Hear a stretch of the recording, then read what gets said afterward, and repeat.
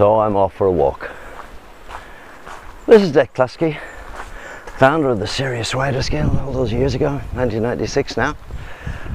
And we're just having a remake on the, a rebirth I've called it, on the website. Have a look at it. Quite interesting. It's almost finished. But uh, what have I got for you this week? I had a guy called, uh, member called Phil Barton, and he got on to me and he wants to know what's a basic a really basic setup for a studio so we can just write basic demos. And I advise him this way.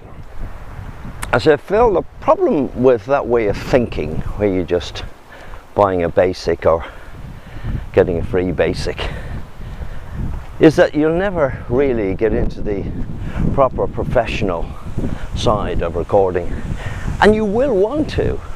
Give it about six months when you've done your piano or keyboard or whatever in your voice, then you want to do some more voices.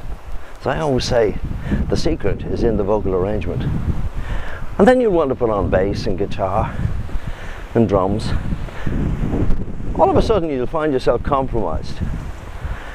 You'll find that the music people that you're approaching, the record companies, the publishers, they're saying, well Phil, we we like your stuff, but can you make it more radio ready? Radio ready mean, meaning almost ready for release. So my advice to Phil was to stop short of getting the cakewalk and the Cubase and Sonar and all those bits and pieces that are available for free or for 50 quid and save up a few bob.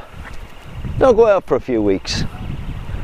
Don't go on that holiday that's going to cost you a thousand quid and invest in something proper like Pro Tools. It is seriously the only bit of kit to have, Pro Tools. Yes, you can get away with Logic and a lot of people like Logic. Mainly Logic is used for the guys who like dance music, uh, produce a lot of dance music, orchestral music. Bill Webster, one of the members, very successful using Logic and uh, he does a lot of big orchestral stuff. Well, that's my thoughts really. Don't spend the 50 quid and then find out that you've got to spend another 50 quid and another 100 quid and that's not good enough and you have to spend another 500 quid. Bite the bullet, get the professional stuff in the first place. Look on eBay. You don't have to have a, a brand new Mac. You can get a nice second hand one, a G5, 200 quid. You can by looking around carefully you know you can you can get the Pro Tools program. I don't mean to fiddle it pretend you're a student or whatever. Well there are ways. There are ways of getting it for not the full price let's put it that way. So there we are. Bite the bullet. Pro Tools get yourself professional and of course all the members have got my phone number they got my Skype they got my email so get in touch with me.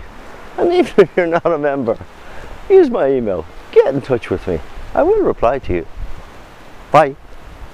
Oh, the gags, the gags. I'll get you a gag. A maid working in a house, big house, and she says to the lady of the house, I need a rise. She said, why? Said, well, I iron better than you. Lady of the house says, who said that? Said your husband. Well, give me another reason. Said, I cook better than you. She said, Who said that? Said, Your husband.